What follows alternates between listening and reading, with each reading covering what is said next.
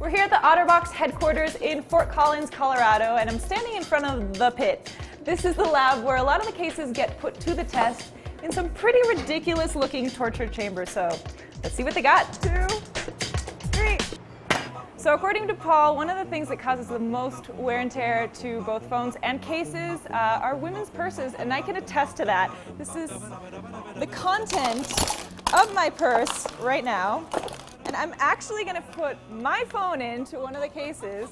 Some car keys. Nail file, Nail file. hairbrush, my sewing kit, hand lotion, USB. All right, I'm gonna zip it up. And then we tape it closed. Does it also dry it? Um, no, it doesn't dry. It.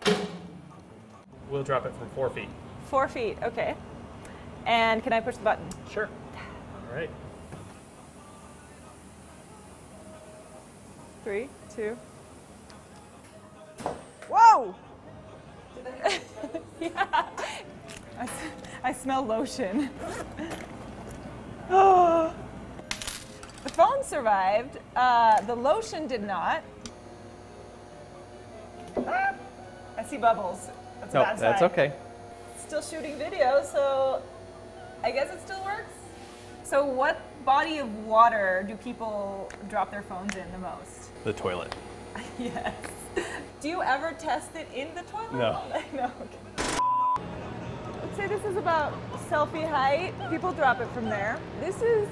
Do you like to dunk your phone in a basketball hoop and get crazy with it? Let's try it here. I'm worried more about myself than the phone. One, Watch the rope. two,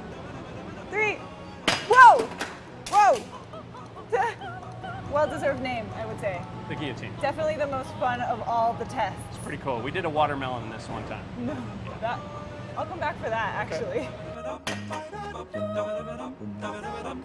Nice. Fun.